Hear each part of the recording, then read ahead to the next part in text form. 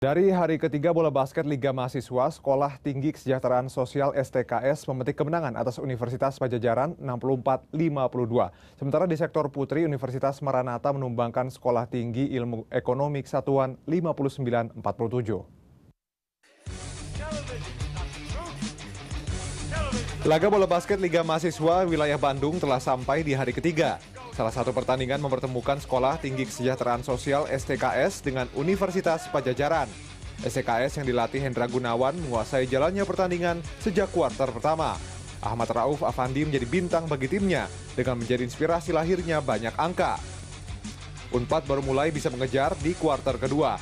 Pelatih Muhammad Hashim menginstruksikan timnya untuk lebih agresif hingga menipiskan selisih menjadi dua angka. Namun di dua kuarter terakhir STKS tidak membiarkan Unpad berkembang lebih jauh.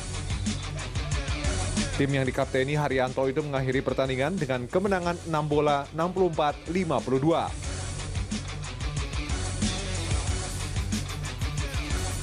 Sementara di sektor putri, Universitas Maranatha mampu menggulingkan Sekolah Tinggi Ilmu Ekonomi Satuan dengan skor 59-47. Tiga pemain U19 Kota Bandung menjadi bintang kemenangan Maranatha atas Tiek Satuan. Kontributor Berita 1 Bandung, Jawa Barat.